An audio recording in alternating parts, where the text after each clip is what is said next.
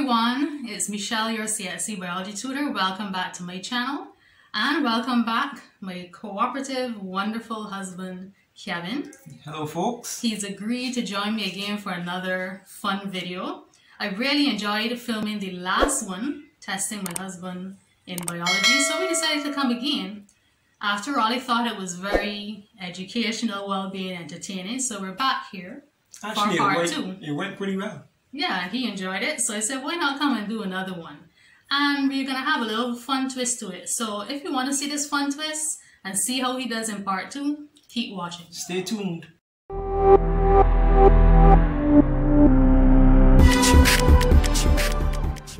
Here is the fun twist to part two of this test. Every incorrect answer he gets, he is going to have to drink some cayenne pepper water. It's a hot twist, a very hot twist. Yes. So no worries folks. Cayenne pepper is very healthy. It provides very many benefits to the body. So it can help boost immunity and we definitely need that in this time with For COVID. sure, for sure. It helps improve digestion, blood circulation, even helps get rid of like mucus on the back of your throat. Yeah, so if you have a lot of sinus problems, Yep. you can use this. Put in some hot water and it'll work fine. Yes. So anyways, moving on from that promotion of cayenne pepper, let's get started. So we have two rounds to this test. So in round one, we're going to be doing biological terms and in round two, we're going to be doing true and false. So remember, every time you get something wrong, as in very far away from the correct answer, It's bottoms up. cayenne pepper drink. All right, so let's go. Your first word is chromosome. Chromosome. Chromosome. Chromosome. Okay. Is this a cell? It is not a cell, but it is found in the cell. It's found in the cell. So what comes to mind when you hear the word chromosome? Have you heard of it before? yes, definitely have heard of chromosome before. I'm pretty sure. No. Hmm. Let's see. You say it's found in the cell. No. trying to remember what exactly it does. Okay, folks, he's But taking too long. But it's found in the cell, so half mark. So a chromosome is a thread-like structure found in the nucleus of the cells. So it's actually the genetic material that will be found in our cells that will contain the DNA and determine our Oh, characteristics. DNA. Yep. So it's technically a combination of protein and DNA that forms the, the chromosomes. So think genetic material. So it determines your characteristics, your Mm, beautiful eyes, your hair. Oh, Yeah. I should have guessed it. Had something to do with So genetics.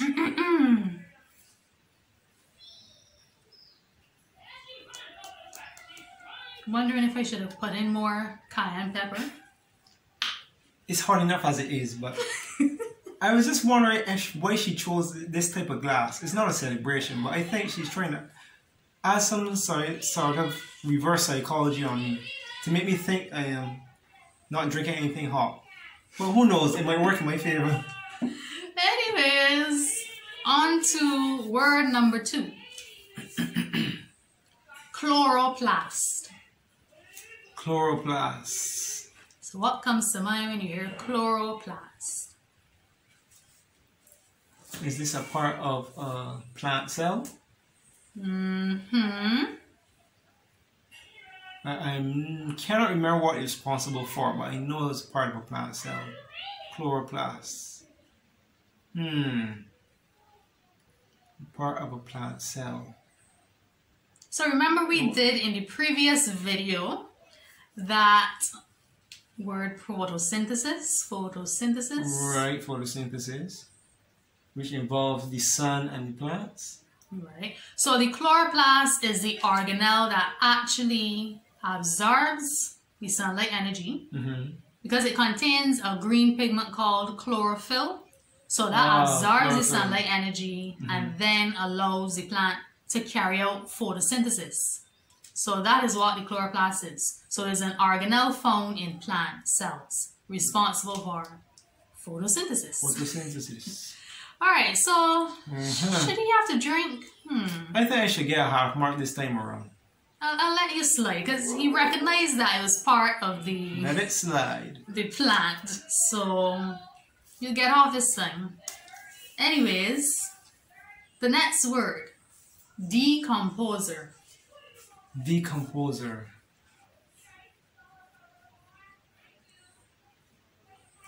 Um, this might be a really wild guess. Is this a part? Is this does this involve the body getting rid of waste, But Or- that is incorrect. or Well, he is correct, is getting rid of something? Something. It, but you're correct by saying waste Waste. because de- de- de- right decomposition. you can't save yourself now.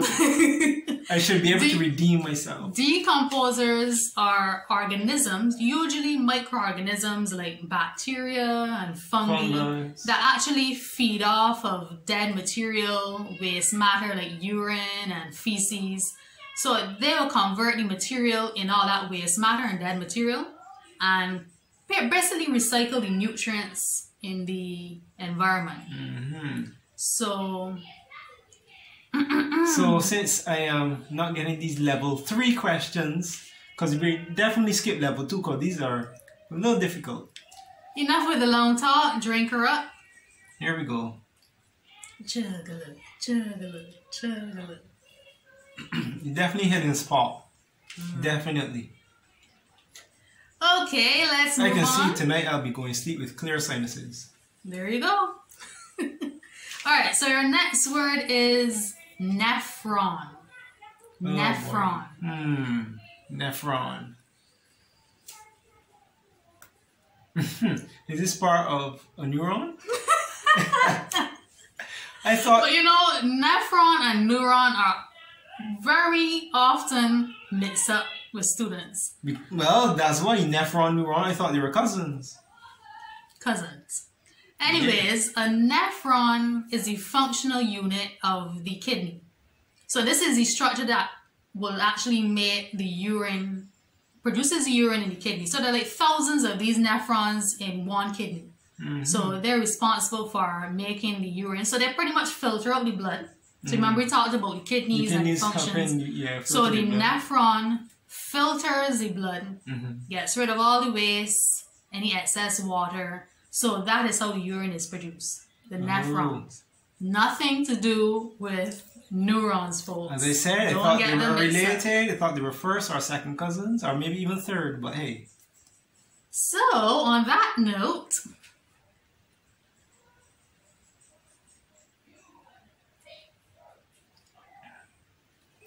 okay, you managing well? I am Handling it? as good as I can. Okay. I probably needed to put in a little more. But anyways, your next word is placenta. Placenta. This has to do with um, something pertaining to new birth. There's a placenta involved when, when humans or animals give birth for the first time. Okay. The placenta is, is covers the newborn. Okay, so not covers, but you, you're It's on the right track. Right, Is involved in So- the whole birth process. Right. So the placenta is that organ that attaches the baby to the mother, To the mother. during pregnancy. So that's how food nutrients. Flow. Okay. So the nutrients, oxygen, they're gonna get to the baby mhm, through, the, placenta. so the baby is actually connected to the placenta via the umbilical cord. So that Mm-hmm. umbilical cord attaches is attached to the baby. That's what um, your navel, right, your and that's is, normally cut. right? Right. So that attaches the placenta to the mother. So there's an exchange of materials. So both the good materials and the bad materials.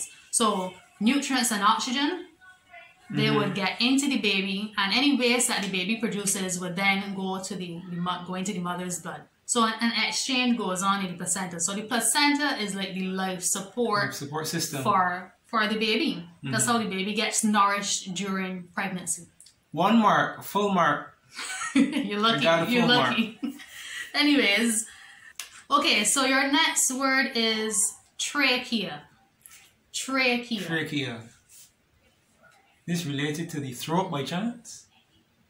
Okay, s- some Is connection. it, invo- is, is, is it, it involves the throat? Is it a connection between like the throat and the lungs? Well, he he he, he got he got it. So the trachea is also known as the, the windpipe. So this is that passage where that tube that, you said, Mm. connects the connects the throat to the lungs. to the lungs. So air is going to pass through the trachea to get to the lungs. Right. So another one, right? Okay, your next word is arthropod. Arthropod. Okay, this part of the, the animal kingdom is one of the groups. Mm-hmm. Arthropods. I'm trying to remember exactly which Okay, type so of give animals me an example of an arthropod. So you said it's part of the animal kingdom, it's a group in the animal kingdom. Right. I'm trying to remember. I know they're myriapods Mm-hmm. and they're, you know, crustaceans and stuff like that.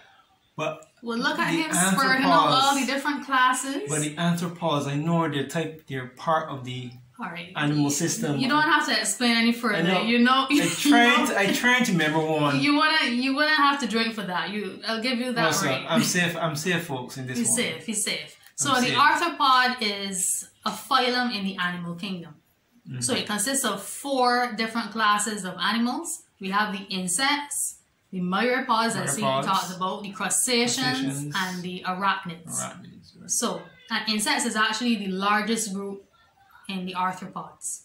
Oh, okay. Interesting. Okay, so the next word is, I believe you should get this one. Omnivore.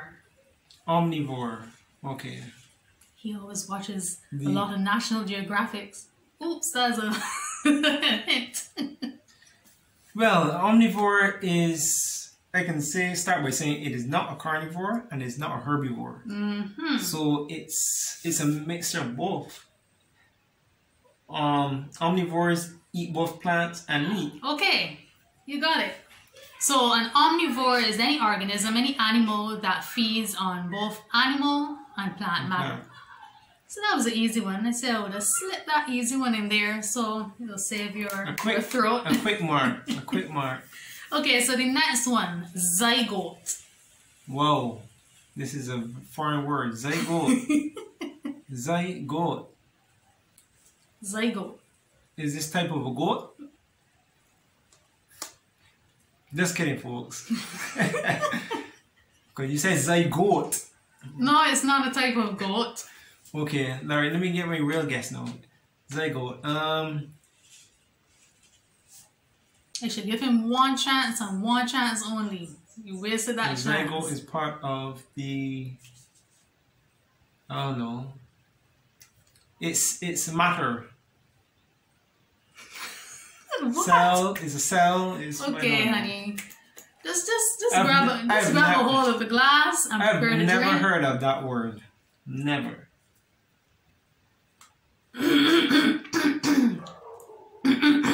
Sounds like she'd be drinking some cayenne pepper. That's not gonna be.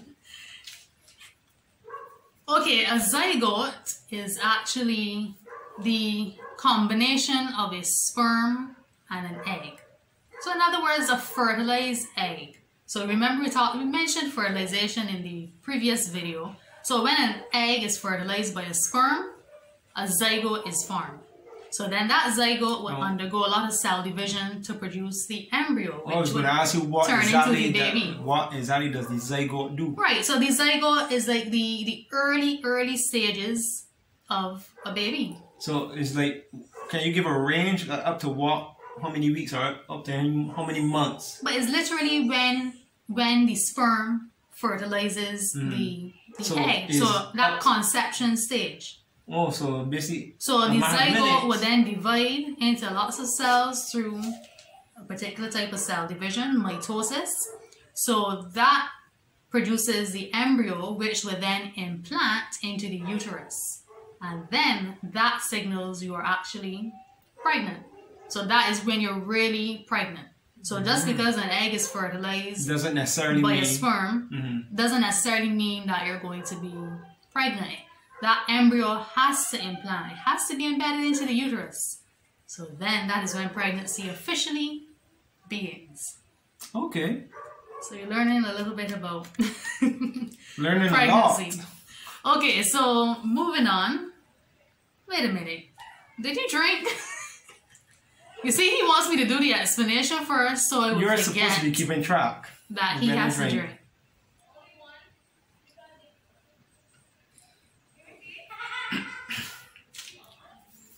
Well, that, that one hit a spot just now.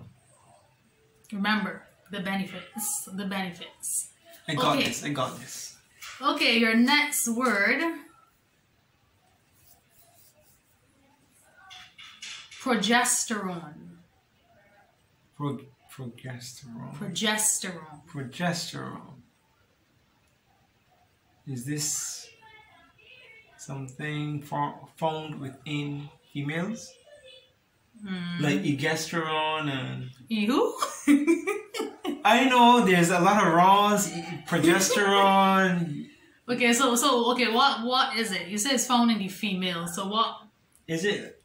I'm trying to find the technical word. Oh boy, the technical word. Um, hmm. So what what does it what does it do? What what is it? So Is it's found in the females. No, how some people say, oh, the females have estrogen as well? Okay, estrogen. Right, so you said progesterone. Pro- Those are hormones. hormones, right, within the female. Right. So so so progesterone is that particular hormone released in the ovary of the female after ovulation. Mm-hmm. Remember that word? Remember what Yes, ovulation, is? ovulation, yes. So the release of the egg from the ovary. So the Mhm. progesterone levels actually increase following ovulation in preparation for pregnancy. Pregnancy, So it really targets the woman's uterus and prepares it for possible pregnancy. So it thickens the uterus, make it more vascular, more blood cells, more um, blood vessels. So really preparing for possible pregnancy if that egg is fertilized. Uh-huh. So yeah, So I got a half mark. drink. I got a, I got a half mark. Okay, you he'll pass on that one. got a half mark. His poor throat must be burning up. No, it's not. It's fine. Your next word is stomata. So I got that one right. We're moving on. Stomata. Um, stomata.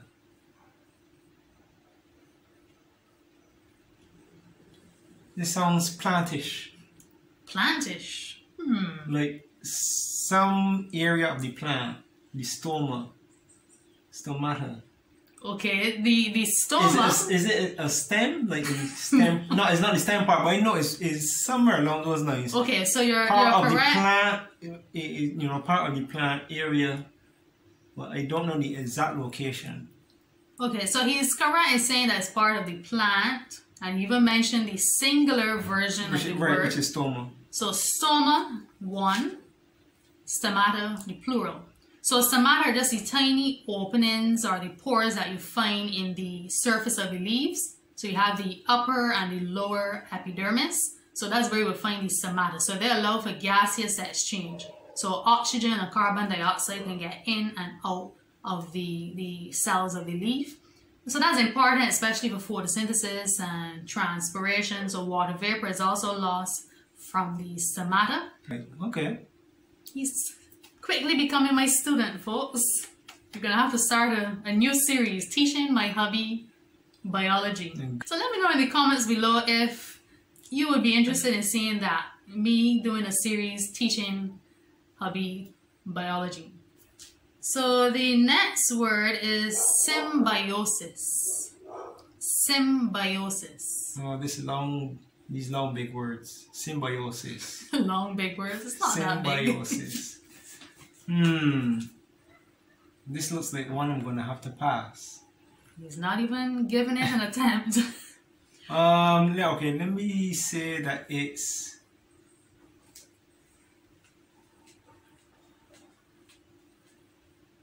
Some type of process involved with with plants?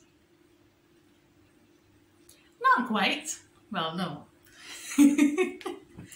okay, so symbiosis is is the interrelationship, the close association Is this like mitosis? between.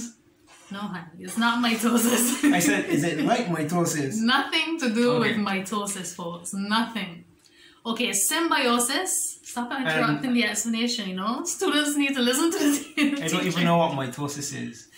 Anyways, symbiosis is that close association between two organisms, usually of different species. So they usually would depend on each other for maybe nu- nutrients or home protection, whatever the case may be. So there are actually three different types of symbiosis. There's mutualism, where both of the organisms benefit. Mm-hmm. That's like right. us. Really benefit. And then, So the next one will be commensalism, where only one benefits but the other is not harmed, the other is not benefiting. oh, So that's commensalism. And then there is parasitism, where one is benefiting and the other is being harmed. So we certainly Oh. don't want those type of So- relationships, folks. One part is where two are benefiting, Right? and then the other part is where one is benefiting and the other isn't, Mm-hmm. and then where one is benefiting and the other one is being harmed. Exactly. Okay. So parasitism is the worst type of relationship you could ever want to be in. right? Got it? Got it. So have to remind him that he has to drink. Hmm.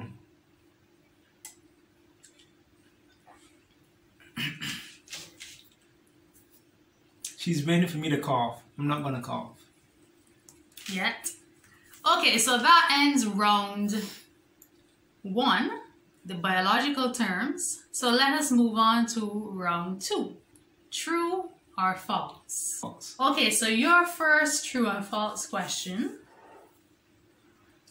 The egg is the largest cell in the human body. The egg. So the egg from the female. Remember, Of course, of course, the egg. egg has to come from the female. well, you were like the egg. What's but that? I was wondering. You're not talking about I the was- egg you fry and scramble. Of course not. I was just wondering how come you start started with the egg. But anyways, hmm. Simple, Is true, or egg? false? false. That is incorrect, folks. The egg is indeed the largest Okay, wow. cell in the human body, Interesting. and the sperm Is it small? is the smallest. So, isn't that Oh. interesting? the largest and the sperm is smallest. Yep. Hmm, quite interesting. Okay, so the next one. The heart has three chambers. So the chambers, this is where the blood flows through. So the heart has three chambers. But wait a minute. We forgot to to let him drink. Let's leave about three seconds Well, he could drinking. as well drink this twice because he seems to not know the, the second one. I'm going to drink one and think the other one.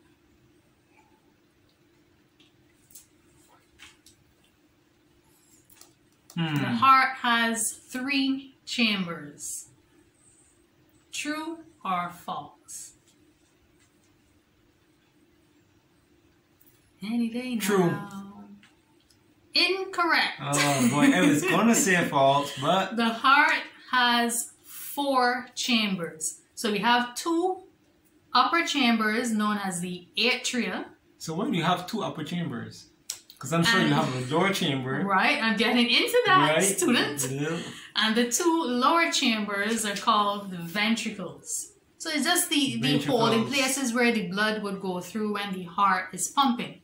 So it's not like it stays, the blood doesn't So stay in these, the- these chambers. These ventricles are apart from the valves. right, so the valves separate the atria from the ventricles. So remember we talked about the valves to Right. prevent backflow? Well, the valves will separate the atria and the ventricles. Okay. Here we go again. He's gonna be so healthy Hmm. when he's done this this test. Ah, Any mucus down his throat will vanish away. Into thin air. Okay. Question number three. A baby skeleton has more bones than an adult skeleton. True or false? False. You're incorrect again. Whoa. Interesting.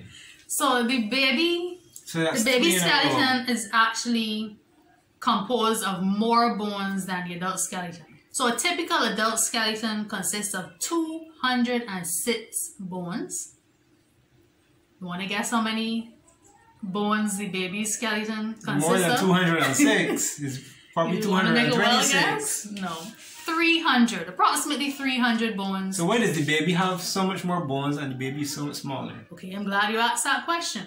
So, so the bones in the baby skeleton, they eventually will fuse together as after birth and as it gets older. So that's why we as adults would have less bones than the baby. And most of the baby skeleton is actually made up of a, a bone-like tissue called cartilage, but it's definitely more flexible. So more more bones in the baby and more cartilage in the baby. So a lot of the bones would fuse together as the, the after birth and as the baby gets older. Uh huh. So, so, three wrong. So do animals have the gristle? You know, gristle. of course they right. Gristle, right, that's what the I'm saying. cartilage is actually the, the gristle. Right, because it reminded me of, Chicken. of of a chicken bone. Yes, I right. The, the bone, the, gristle, he likes to, Right, so to devour. so the gristle, so and but we hum, as human beings, do we have gristle? Yes, we do. Right. Cartilage is found in between all of our bones Okay. to prevent friction and to absorb shock. Yeah, she doesn't eat gristle. She doesn't like part to the bones for some reason. I'm not a dog. Why, why would I want to eat the bone or the- the, gristle? it's food. I want the meat. it's food. You're mi- the meat and the gristle. You're missing. You're missing the I'm not missing anything. the whole thing. Moving on smartly. Come on, try and get at least one of these. the- Try and get at least one of these right, man. Need a refill. Okay, the next question. Question number four. Urine contains similar components to sweat. Hmm. Think about it. True or false? Well, these are level three Yeah, questions I, I for kind of, sure. I kind of. She raised it up a notch from the last video. No, she actually raised it up two notches because she's we were in level one in last video. Now we're up to level three. But the whole point of that is So- so, he would be healthy and Yes. have all the cayenne pepper benefits. Let's see how we do with these level three questions. So true or false? Hmm. Urine contains similar components to sweat. True. Okay, you got it. That's probably just a well guess. You see, with this true or false, you can guess. I had to think. All right, so the urine actually contains water, salts, and a waste I substance called water had to be in there. Water So sweat also contains the same components, just in different proportions. So that smell that you get from the urine, you know, the pissy, sm- the pissy smell, you can sometimes get from a person's sweat. You know, the sometimes you know sweat does not smell very good. So is the is most of the time the urea part of the urine and the sweat But that smell, that's doesn't giving that- it doesn't that- funky odor. But doesn't that always, uh, also come from what the person drinks or eats? The smell. Well, that can contribute to Right, it. right. I was going to say that that may contribute to it. But yeah, because obviously some person's body odor, sweat will smell worse than others. It's that's the genetic, the whole makeup of the individual would would differ from person to person. But generally speaking, urine and sweat they have basically the same constituents. So yeah, okay. so you got that one right. We cannot feel pain in our brain. We cannot feel pain in our brain. True or false? False. That is incorrect. Wow. It's actually true. So a lot of people don't know this, but there are no brain, there are no pain, there are no pain receptors in the actual brain tissue. Hmm. There will be pain receptors in the membrane that surrounds the brain, and that you know the blood vessels are surround the brain, and also in your your scalp region. But in the actual brain tissue, there are no pain receptors. You can't technically feel pain in the brain. Well, that's remarkable. I thought you could It feel is. pain anywhere in the body. No, so there are no pain receptors there. So that's why surgeons can actually perform surgery on someone's brain and they may still be awake. Wow.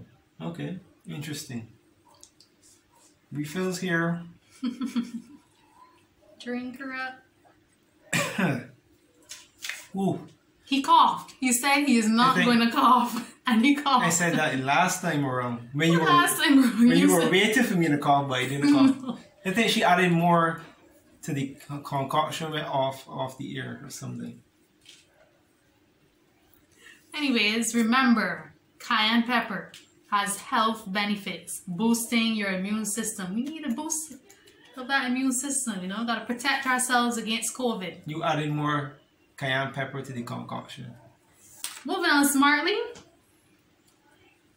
Ligaments are thick strands that connect muscle to bone. They connect muscle to bone.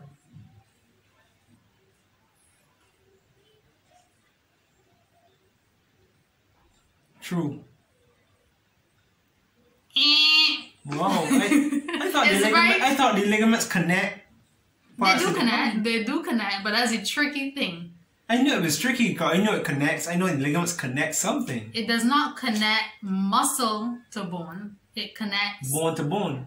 There you go. Oh. I'll let you pass since you since you actually Oh, answered. You gave the correct answer. I knew it was bone to bone because when I hear muscle to bone, I was like a little iffy, but I know it connects something for sure. Right. So the ligaments connect the bone to bone to provide stability and prevent any dislocation from occurring. While tendons, they connect muscle to bone, so to facilitate movement Mm-hmm. at a joint particularly. So that is the difference. So Don't help, get them help with mobility. Right, so the tendons, remember muscles are there to help with movement. Mm-hmm. We technically cannot move our bodies without muscles. So the muscles, particularly at the joints, they'll be connected to the bones via tendons. So mm-hmm. ligaments, they attach bone to bone. Right. So you don't want your bone dislocating. So that's the whole purpose of the ligaments, to keep them connected at the joint, keep the bones connected. That's where, where two bones meet, a joint. right. So the next one, and you should get this. If Should. if he does not get this one, he's drinking that entire glass, whatever's remaining from that glass. That was not discussed and agreed with me. well, I'm changing up the rules here, folks. That it's too late to change. It's too late. Anyways, he's gonna get this one, so there may be no need to Too worry about to that. change the rules. Because we actually kind of talked about this already. So the question is, well, the statement, the statement is, the stomach is very alkaline, or basic, true or false. The stomach is very alkaline. False. Okay, Because the stomachs have acids. there you go. So just check it and make sure he remembers. See. I, I, I, I still got that part. if you got this wrong, I got not only would you have had to drink the balance of of that cayenne pepper water, he would get a good lash. I wonder who will be giving me that lash. I don't know. Anyways, I got it right. I'm the teacher, so I'm supposed to be it sharing right. all the lashes. I got it right, so no lashes and no drinking. Anyways, so yes, the stomach is very acidic because it contains hydrochloric acid. Acid. So hydrochloric acid gives it the acidity. And that helps with digestion as well as fighting off any any pathogens that get into the stomach. So if you eat some food and you have a little bacteria or viruses, the stomach acid can actually help to um, destroy those pathogens. It may not always happen, it may not always be effective. So you know we get food poisoning sometimes, So- gastroenteritis. I've heard the term acid reflux. Is that connected to if the stomach has in too much acid? Well, acid reflux. So there are these sphincter muscles that would be found at the it's kind of the top of the, the the stomach the bottom of the esophagus. Mm-hmm. So when that acid starts, you know, I don't want to say boiling up, but if that moves up and it goes back up into the esophagus, that is what can cause acid reflux. So you'll feel it like a kind of mm-hmm. burning in the chest. So that's what they call Also- heartburn. There you go. So it's also known as heartburn. Right. So it's just like this, the stomach acid is getting up into the, the esophagus. Yeah. Okay, so you got that one right. The next question Males determine the sex of the baby. Yes. That is true. All right. Because we produce the Y chromosome. Okay, okay, Right. okay. We males produce the Y chromosome, thus we determine the sex of the baby. Okay, so we know females they have X X chromosome. So only X's are produced by the females, while the males they have the X chromosome and the Y chromosome. So if the sperm carrying the Y chromosome fertilizes the egg, mm-hmm. then automatically that child will be a, a boy. But if the sperm carrying the X X chromosome chromosome. fertilizes the egg, then it will be a girl. Mm, Right. So you got it. Yep, got it. No drink and no lashes. Okay, so the last question. The pancreas produces both hormones and digestive juices. The pancreas produces both hormones and digestive juices. Let's see if we're gonna finish off Hmm. on a cool note instead of a hot one. Hmm.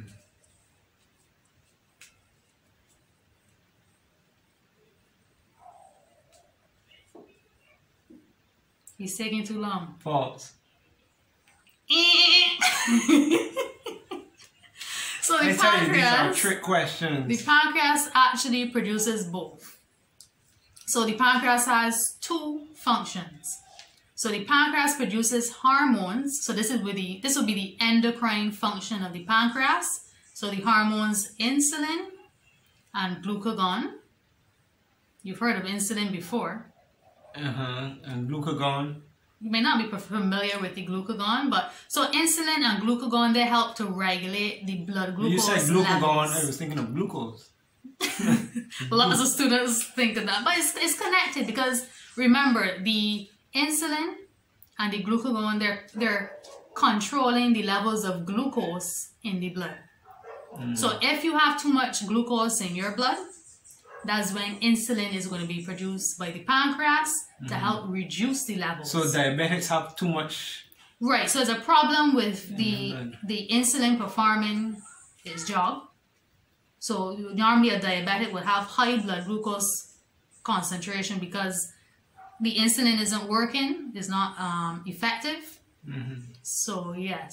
So I- glucagon would, would be produced in the opposite case. Right. So if there's not enough glucose in the blood, then the glucagon hormone will be produced to help raise So what the about levels if you of have glucose. too much? If you have too much glucose in the urine, is that connected? oh to no, glucose in the urine that is a sign That's- of diabetes. Diabe- oh, okay. So that's one of the main signs of diabetes. So yeah, so if glucose is found in the urine, mm-hmm. that's Even not even, even if it's a small amount. Well, usually no glucose at all should be found in Oh. the urine. Hmm. And you would understand that if you know the whole process of urine formation. So that that will be discussed another time. But yes, so that's the hormonal function of the pancreas. And then of course the pancreas produces the digestive juices with the enzymes to help break down, digest the food. So mm-hmm. the starches and fats and proteins. Fats and oils. And, Right. So two functions of the pancreas. So keep that in mind. We have the endocrine function, which is the hormonal, Mhm. producing the hormones to help regulate the, glu- the glucose, and then there is the the digestive function right. Where the digestive juices help to to digest the food. Right. Okay, so, So I ended on a hot note. so since there is this and he's gonna drink all of it. I'm Come gonna on, be a man and drink all. Since she would say so because she's not the one drinking it. So, is he going to drink all of this? Oh, no. you okay? I think I, I might be turning I might be turning the same color as the cayenne pepper. Well, thanks for playing along. Well, that wraps up today's video. I hope you enjoyed this and I want to thank Kevin for being a good sport. and I think after this I'm going to have some burning questions. anyway, so thank you all for watching. I hope you found this both entertaining and most importantly educational and that you learned something from this video. So until next time. Until bye. next time. Bye all.